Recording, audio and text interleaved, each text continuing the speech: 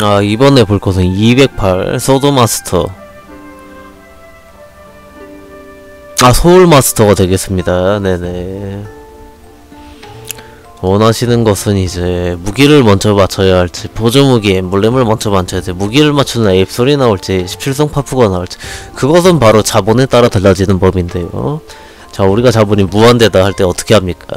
일단 엠블럼의 레전드를 띄어서 세줄 옵션을 만든 다음에 그 다음에 이제 무기 보조 자기 템의 효율을 맞춰서 움직이게 되어 있습니다 하지만 저희는 그렇게 할 수가 없습니다 대부분은요 저도 동일하지만은 그 다음에 이제 자본이 얼마 들어갈 것인가에 대해서 생각을 해봐야 될 것 같고요.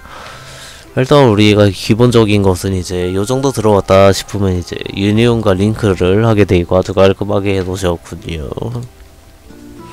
그렇습니다. 어, 옵션은 이제 아에게 합을 쓰고 계시는군요.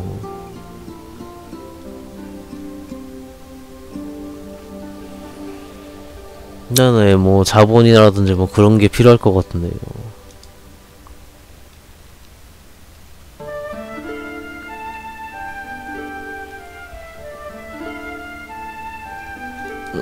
뭐 돈이 어떻게 들어간다든지 뭐 그런 게 중요하겠죠.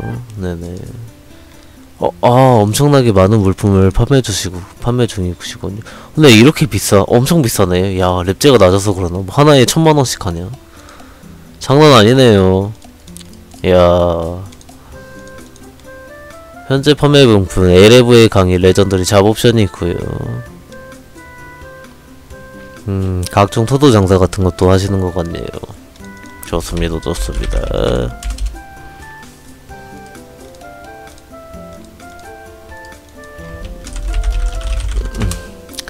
아 강의를 현재 14억에 올려놨는데 최저가와의 싸움이죠. 네네.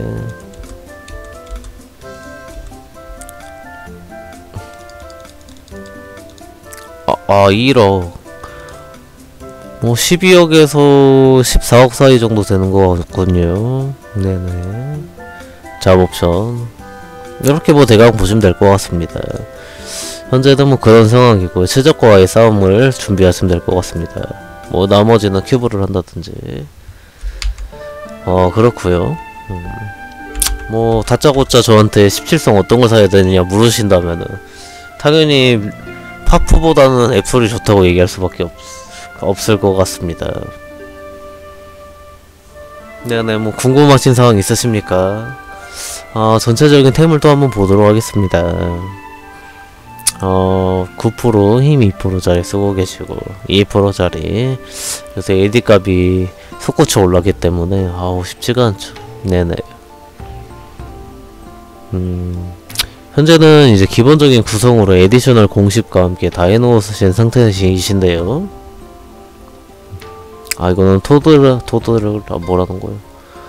아, 아주 좋은 템 세팅입니다. 제가 했던 이제 어제 했던 29억 템 세팅과 아주 흡사 부분인 상황이네요. 그렇죠, 그렇죠. 어. 똑같네. 거의 똑같다. 그러지? 엠블럼은 좀 돌려줘야 될 것 같고 아 완전히 똑같은데 어제 29억 템 세팅이랑 그죠 이거는 추업이 좀 움직여야겠거든요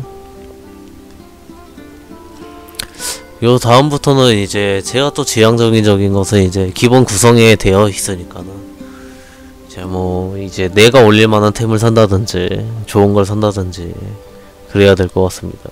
아, 제가 이런 거 하고 있을 때는 잘 답변 못 해드리는 점이 많이 있습니다. 네네. 어, 많은 이해 부탁드립니다. 카르타가 좋을지 타일마이가 좋을지 자본에 따라 달라질 수 있습니다. 억지로 이제 17성 이렇게 올리는 것보다는 오히려 이제 한 7억대 8억대에 뭐 3성에서 5성짜리 앱솔 망토가 앱솔이란다 타일 쪽이 더 좋을 수도 있겠죠. 물론 매물의 가격이 문제지만요. 네네 또 답변해 드려야 될 게 어떤 게 있을까요? 이 다음 테스팅으로 제가 원하는 것은 이제 돈을 모아서 뭐 자기가 이제 30퍼작 돼 있는 걸 하나씩 구매할지 직접 올릴 거를 아니면 이제 더 모아서 아 난 안되겠다 마무리된 템을 사야 되겠다 하시는 거 중요할 것 같습니다 소마 어빌리티 추천을 해달라. 저도 소마 유저가 아니라 소마 어빌리티는 어떤 걸 쓰나요?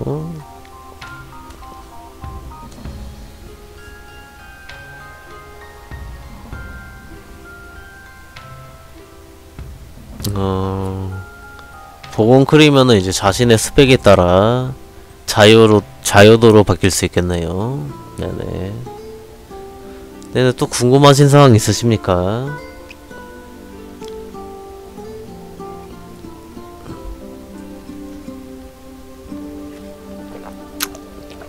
아 이렇게 오늘의